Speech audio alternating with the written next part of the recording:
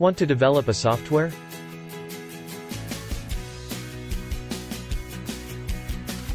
But don't know where to start?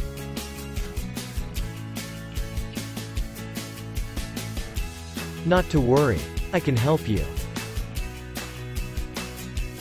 Hello. I am Mr. Frank. I can teach you how to develop a software by your own. You might have heard of Python programming language.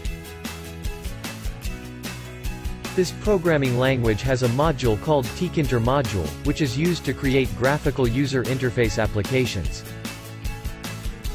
How tkinter module works. Let use tkinter module. Open Python idle shell.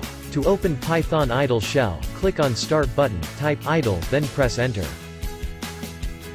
Python shell will appear on the screen. Now click on File menu, and then select New File option.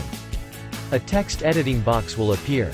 Here you have to write just three lines of code, and that is, import tkinter, t is equal to tkinter.tk, t.mainloop. Now press F5 key from your keyboard.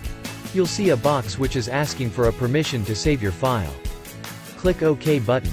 Write the file name as tkinter1 then click on Save button. You will be surprised by what you are about to see.